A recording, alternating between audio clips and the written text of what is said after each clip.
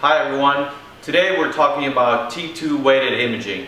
T2 weighted imaging is part of what's known the spin-spin interactions. So that's another type of magnetization that we have. As the protons are flipped, there's a magnetization that occurs in the x-axis as they flip and they're paired together. So they will cause that magnetization that allows us to receive signal at the coil. However, like every magnetization is eventually lost or decayed and it goes back to normal.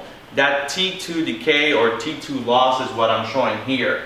So that's an average T2 weighted curve and the 37% is defined as a T2 interval for a specific tissue.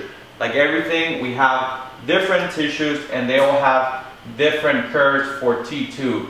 At this interval, we image and we'll be able to detect differences in that recovery. Some tissues will recover faster than others and that will create the contrast in our image. The main thing to know about T2 is that it is affected by the interaction with the tissue. There's another type of T2 which is known as the T2 star and that's related to differences in the magnetic field. However, the way we do to exclude those effects from our T2 decay is we use a, what's called a 180 refocusing pulse, a 180 RF refocusing pulse. That pulse will take care of that and we'll be able to analyze the difference in transverse magnetization which is known as the T2. Remember, the T1 was the longitudinal magnetization recovery, also known as spin lattice.